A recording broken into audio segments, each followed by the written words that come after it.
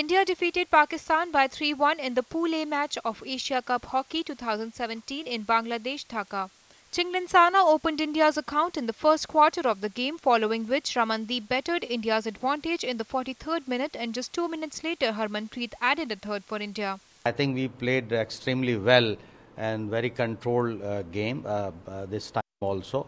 Because earlier also we had defeated in the World League uh, semi-final twice and that too by a big margin 6-1 and 7-1 but this time 3-1 was uh, i think uh, the pakistani fought well also. But at the same time only because we we made a few mistake in the sense that we gave uh, you know very loose pass uh, uh, to the opponents. Uh, that's why. Otherwise i i would say the entire team played very well. Uh, there's no doubt about it.